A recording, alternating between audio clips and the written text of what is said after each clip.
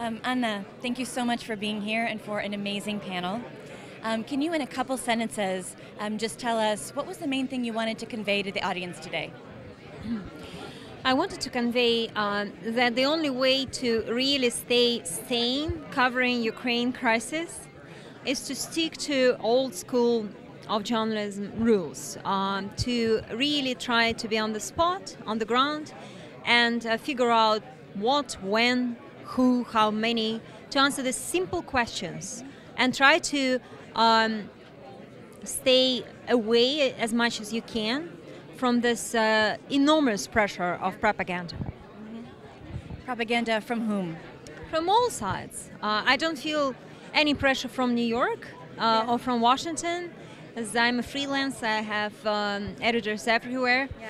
Uh, but definitely feel uh, influenced by um, TV reports uh, on both sides, Okay. in Ukraine and, and in Moscow. Uh, although you know, I'm not uh, watching television too much. Right. Try not to. Um, you've worked in some pretty amazing places. Um, you were saying you were in Chechnya and Beslan and Nordost. How does th- covering this conflict compare to covering those conflicts? a lot of pain everywhere, and I really asked whoever is uh, there not to show me burned children again. As Beslan was uh, the most um, heartbreaking story I ever covered. But once again, unfortunately, on the field um, of M17 crash, uh, we saw a group of um, dead children. That was the, the, the worst. It's always the most painful part. Um, it is also difficult to um, be the one, you know, who people cry on a lot.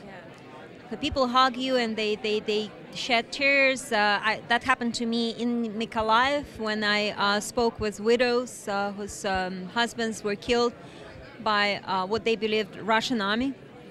And uh, in Lviv, I just visited Lviv, where parents were also sharing their um, sad emotions with me. And of course, it happens all the time in Donbass. Um, Right. Right. Right. Um, to switch uh, topics for a little bit, what got you into journalism in the first place?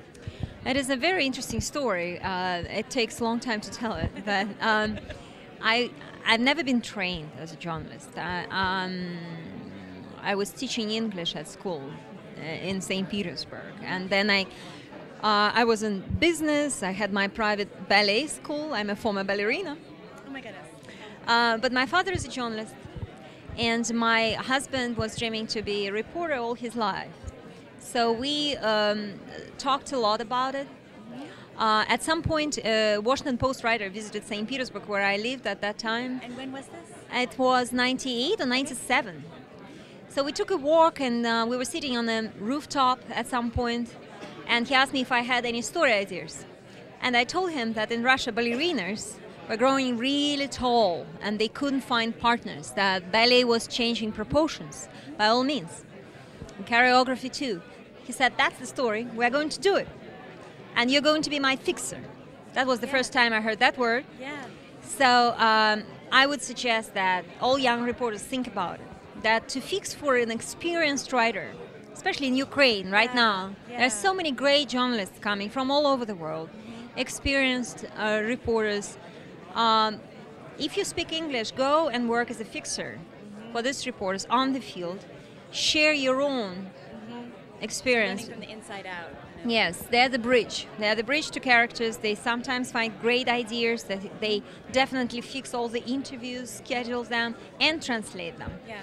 So it is a great school. I was doing it for uh, several years for the Washington Post, and that was the I would say that that was the best school of journalism because what happened during those years in Russia, the biggest stories, you know, the Chechen War, um, the crisis, the beginning of Putin, and um, every year we had some terrible, terrible news or something. Um, and way we lost the television, this free television, Russia was changing and transforming into completely different country. So that I'm very thankful that I started reporting during those years. Great. Thank you so much. Uh, thank you for being with us today. Thank you, Anna.